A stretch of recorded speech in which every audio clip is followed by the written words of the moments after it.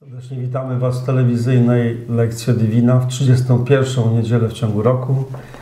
Ksiądz Józef Maciąg, ksiądz Sławek Laskowski, Witam. ksiądz Robert Muszyński. Zważamy dzisiaj wspaniałą historię o Zacheuszu, którego Jezus spotkał, do którego przyszedł w Jerychu. Yy, Ewangelię Świętego Łukasza, rozdział 19, wersety od 1 do 10. Posłuchajmy tekstu. Jezus wszedł do Jerycha i przechodził przez miasto. A pewien człowiek imieniem Zacheusz, który był zwierzchnikiem celników i był bardzo bogaty, chciał koniecznie zobaczyć Jezusa. Któż to jest? Ale sam nie mógł z powodu tłumu, gdyż był niskiego wzrostu. Pobiegł więc naprzód i wspiął się na sykomorę, aby móc go ujrzeć. Tamtędy bowiem miał przechodzić. Gdy Jezus przyszedł na to miejsce, spojrzał w górę i rzekł do niego: Zacheuszu, zejdź prędko, albowiem dziś muszę się zatrzymać w Twoim domu. Zszedł więc pośpiechem i przyjął go rozradowany. A wszyscy widząc to szemrali.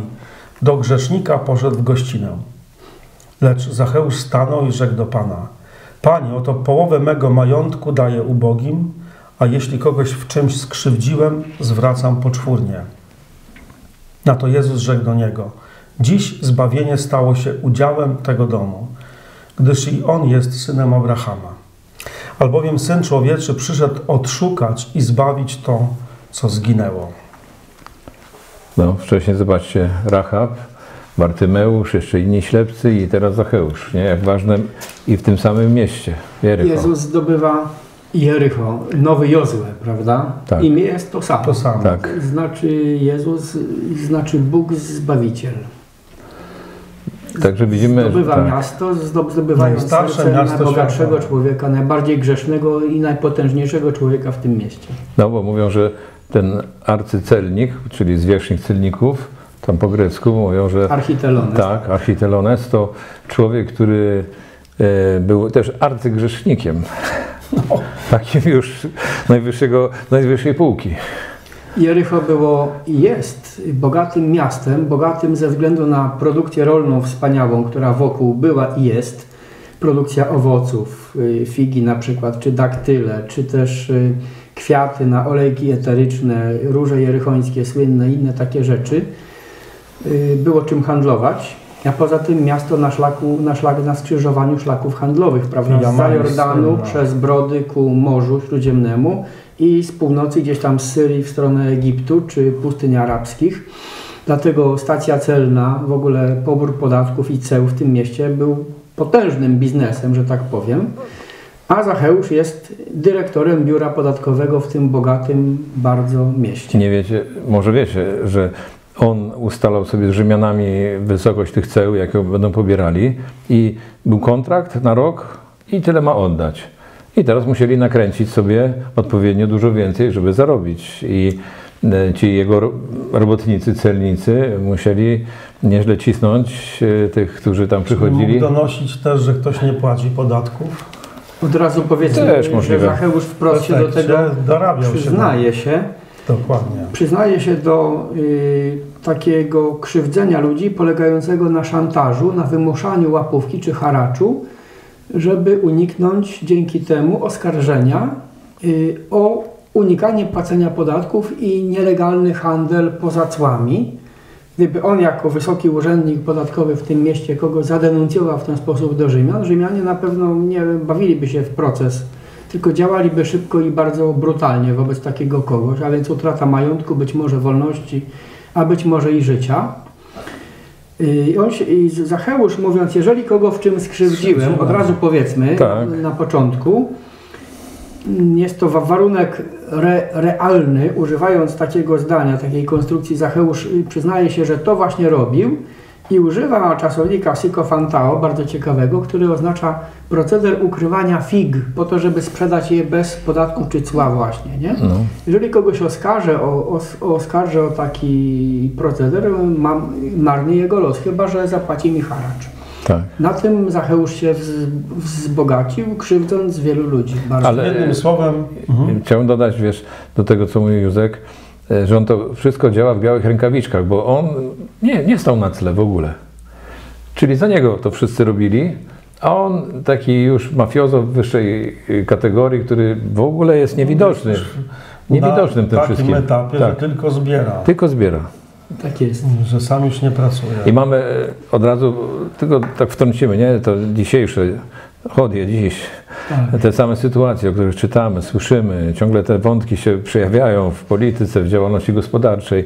Czyli widzimy, jak aktualne też dzisiaj jest to słowo i wracamy do Zacheusza. Ludzie, Zachu- ludzie na pewno się bali, był, był na pewno groźnym człowiekiem w tym mieście, miał władzę ekonomiczną, potężną.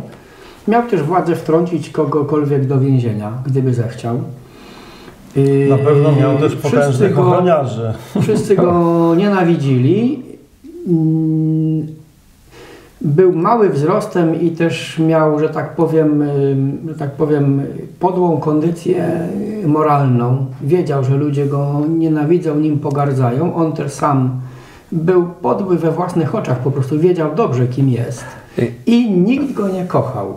I wiecie, i ta małość, mówią ojcowie Kościoła jego, że być może był i fizycznie faktycznie taki, e, co nawet się zgadza, bo nieraz właśnie ludzi z kompleksami cechuje taka, nazwijmy to nieraz wred, taki, to jest taki wredny, że faktycznie też chce dopiąć e, na czyjś jakiejś pozycji, e, znaczy zdobyć ją ze względu na te kompleksy, ale zostawmy to, że ta małość e, właśnie wynikała też jest e, z tego jego właśnie, to powiedziałeś, kondycji moralnej, że jest taki malutki też we własnych oczach, że on mimo wszystko, że był taki, wiedział, że jest podłym człowiekiem, dlatego jest mały, taki zmiażdżony tym wszystkim.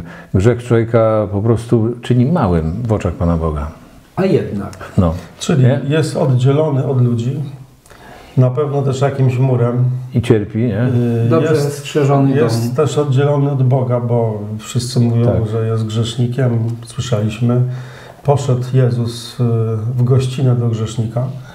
Ale pytanie, dlaczego on wychodzi ze swojego domu i dlaczego szuka kontaktu z Jezusem? Właśnie kluczowe jest to słowo szukał sposobu, jakby zobaczyć Jezusa, kto to jest, prawda? Yy, W, języ- w polskim tłumaczeniu mamy chciał koniecznie zobaczyć. Zobaczyć, ale tam I jest tłumaczenie nie jest zbyt wierne, dlatego że to słowo szukać, poszukiwać, ono tworzy inkluzję z tym, co mówi Jezus na końcu.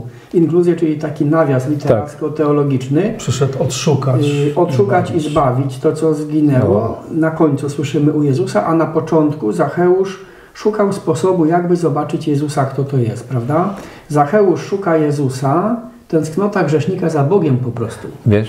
A okazuje się, że Jezus szuka Zacheusza bardziej niż Zacheusz Jezusa. Ale też dodamy tu Przepiękny obraz. Cud- Cudowne. I też pewnie to wynikało z tego, że już ta fama o Jezusie się rozeszła, bo wcześniej mamy tego Bartymeusza, uzdrowionego przede ślepca. Mówili. Mateusza. Mateusza Celnika. No. Kafarnaum, prawda? Tak. Drugie ważne miasto handlowe ja- stacją celno-podatkową. Jezus zrobił skandal i na pewno w tej korporacji celniczej rozeszło się to echem szerokim, że Jezus zrobił skandal, za stołem ponieważ razem. nie tylko powołał go na swojego ucznia, ale jeszcze Wszedł do jego domu. wszedł do jego domu na piękną ucztę i zgromadziło się wokół niego bardzo wielu ludzi właśnie z tej korporacji, I został za mających to, podłą opinię. został za to znienawidzony przez faryzeuszów, że miał złą opinię, Tak. że jada w rezultacie tych, tych tak zwanych kontrowersji galilejskich, gdzie wśród nich znajduje się właśnie epizod z Lewim Mateuszem, Jezus został skazany na śmierć, bo po kilku takich starciach, było ich pięć, a z Mateuszem to było drugie, yy, wpadli we wściekłość i zna, zaczęli się naradzać, jakby go zabić. Nie?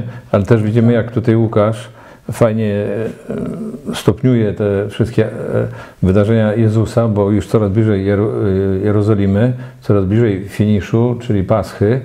I tutaj Jezus właśnie, Mateusz to jeszcze był tylko niższa półka, ale teraz jest arcy właśnie ten celnik i jeszcze dokłada mocniej tą dobrą nowinę, że właśnie po to przyszedłem, nie? Po to przyszedłem. Zacheusz był człowiekiem na pewno dobrze poinformowanym, jak każdy człowiek władzy. Tak. Słyszał o Jezusie i to, co słyszał o Jezusie, budziło w nim pragnienie, żeby go zobaczyć. A zobaczyć to nie tylko y, sensie- zobaczyć jak wygląda, Tak. jak, jak kibic na, na stadionie, stadionie, na tak. trybunie, tylko spotkać, Spotkać. doświadczyć, przeżyć w sposób osobisty Dlatego to, mówimy, nie, że szukał sposobności, by spotkać Jezusa. I ten czas przeszły niedokonany też Tak. jest ważny, bo oznacza pr- proces dłużej trwający. Rozwijała się w nim wiara po prostu. Nie? Nadzieja na, na spotkanie Jezusa, który tak. może zmienić jego życie, uwikłane w taki ciężki, strukturalny Nie? grzech. Co wyobrażasz, czy to jest możliwe, żeby mnie także pokochał? Czy to jest możliwe, że przyszedł do mnie jak i do Mateusza? Czy to jest w ogóle możliwe? Jezus mówi, że nie jest możliwe, żeby bogacz wszedł do Królestwa Tak. Bożego, ale zaraz dodaje, co dla ludzi niemożliwe, dla Boga jest możliwe. I co trzeba Zacheusz zrobić? jest takim właśnie Nie, przypadkiem. I zobaczcie, co to znaczy spotkać Jezusa. Od razu tu mam odpowiedź, nie? A jeszcze jest druga wiesz, wieść, taka, Tak. która biegnie przez miasto, taka aktualna, że właśnie został uzdrowiony Bartymeusz, czyli ten, który był ślepy. Tak. I Jezus i Łukasz dopowiada także cały lud, który widział to uzdrowienie ślepca, oddał chwałę Bogu i ta chwała Boga jak taka fala uderzeniowa idzie przez miasto, że Jezus przechodzi, przechodzi. To jest ważne słowo, prawda? To jest Paschalny sens ma głęboki i u Zacheusza widzimy paschalny pośpiech. Wybiegł z domu, pobiegł naprzód, wspiął Wspiął się na się, sykomory, że- szedł z pośpiechem. Paschalny pośpiech. Dzisiaj Bóg przechodzi obok mojego życia, dzisiaj albo nigdy. Ale też Wszystko widzimy ten, może ten, ten działalność paschalną w tym, co robi Jezus. Bo On staje pod tym e, drzewem i patrzy do góry I mówi, z takiego uniżenia. tak, ale też mówi, zejdź do mnie, nie? Zejdź do... Właściwie mówi coś jeszcze więcej, nie? Zejdź z tego drzewa, Aha. bo ja wchodzę w Twoje miejsce. Nie. Można jest, też tak. Jest tutaj aluzja do sceny ukrzyżowania widoczna w y, opisie męki. Gdy przyszli na to miejsce, tam ukrzyżowali jego i dwóch innych zło, złoczyńców. Czyńców, tak. Jezus czyni się zło, złoczyńcą. Y, I to zdanie wydawałoby się bez znaczenia, takie banalne, gdy przyszli na to miejsce, ma sens paschalny, ponieważ jest aluzją do sceny ukrzyżowania. Mamy drzewo, miejsce Jezus, który mówi, muszę zająć Twoje miejsce na Nie? drzewie. I mówi, zejdź prędko, nie? Zejdź prędko, Muszę albowiem wziąć na Ciebie śmierć, która Tak. jest losem grzesz, grzesznika. i chcę być w Twoim domu. Tam jest też e, takie ważne, e, ważne słowo użyte, dei me, tak? Trzeba mi. Tak. Co to znaczy? Tu jest fachowiec. Nie jestem fachowcem, ale to jest tak zwane passivum divinum, czyli Tak. forma gramatyczna trzeba mi, często używana przez Jezusa, która wskazuje na ukrytą wolę Ojca, która jest dy, dynamizmem przynaglającym Jezusa, by pełnić wolę Ojca. Trzeba mi być w sprawach mego Ojca, mówi dwunastoletni Jezus. Trzeba mi iść do Jerozolimy, chociaż wiem, że tam Syn Człowieczy będzie cierpiał.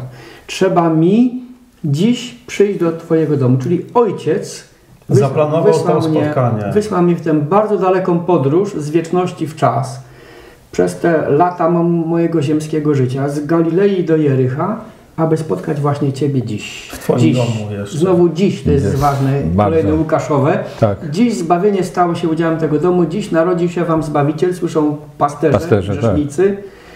To dziś. Bóg nigdy nie mówi jutro, kiedyś. Jeszcze się kiedyś rozsmucę. Nigdy Bóg tak nie mówi, Tak. jak Tuwim napisał w tym znanym No. wierszu. A my śpiewamy pie- piosenkę, która No, ale dobrze, zostawmy to. Ale to temu, jest co ważne, trzeba. prawda? Bóg nigdy Tak. nie, nie mówi kiedyś, Jeszcze jutro. kiedyś. Dziś. Bóg mówi dziś. I to jest bardzo pocieszające, nie? Bo zawsze mamy dziś. E, I dlatego to jest nas tak przynagla e, też nas, bo e, Zacheusz szedł, z- szedł z pośpiechem i przyjął go rozradowany, bo Ale spotkać. jeszcze na tego Jezusa proszącego. To znowu mi się przypomina wiersz chyba Woj, Woj, Wojciecha Bąka, który też śpiewamy, bardzo piękny.